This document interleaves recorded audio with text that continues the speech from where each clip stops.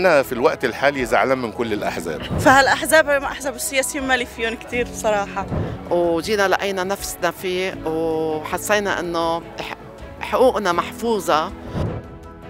حضرنا فعاليات أسبوع يارفا واحد من أهم الفعاليات السنوية اللي بيلتقي فيها مختلف الأحزاب مع الناس عشان يناقشوا موضوعات متعلقة بالديمقراطية والاندماج شعار أسبوع يارفا السنة دي هو الانتخابات لك.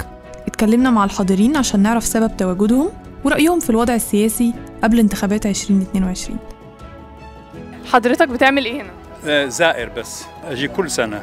أنا هنا عشان ده أسبوع سياسي في يرفا وبما إني ليا نشاطات كتيرة في يرفا أمرودت فعلشان كده أنا هنا أشوف أسمع مين الموجود السياسيين بيقولوا إيه.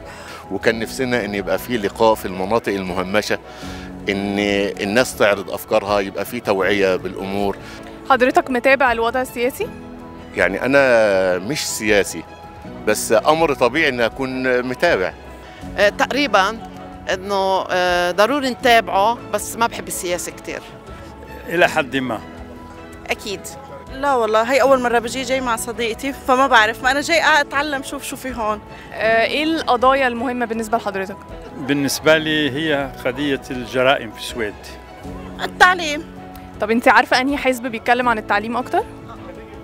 فهالأحزاب أحزاب السياسيين مالي فيهم كتير بصراحة هي آه، الحفاظ على الأسرة آه، كل أفراد الأه- الأسرة في المهجر. صراحة أكثر شيء مع البيئة. يعني آه، كل ما يتعلق في في اللجوء. الناس أصحاب الأصول الأجنبية محتاجين ناس تتفهم ظروفهم تتفهم ماضيهم تحاول تفهمهم الوضع الجديد تحاول تدمجهم بشكل جيد تحاول تهتم بقضاياهم الأساسية. للأسف الشديد النقطة دي ضعيفة عند معظم الأحزاب. يعني حضرتك زعلان من كل الأحزاب؟ الحزب العنصري صريح واللي في قلبه على لسانه وبالتالي مش عارف بفكر اليومين دولت احتمال انتخب الحزب العنصري مش لأنه عنصري لأنه واضح. واضحة. غيره يعني مش واضح فإحنا بنتمنى إن يكون في وضوح من أجل المجتمع بشكل عام. إيه الحاجة الصفة اللي في السياسي لما بتشوفها بتحس إنك مش واثق فيه ومش عايز تصوت له؟ أظن أن السياسي اللي بي بيحكي كثير هذا يكون في شوي شك على آه، إن أنا احس إن السياسي ده يعني مش ممكن أفكر في ال- في البرنامج بتاعه. لما بحس إن هو يعني بيشتري أصوات كده يعني وخلاص. هي أكثر شيء خايب أنه معك أهلا أهلا ومن وراك.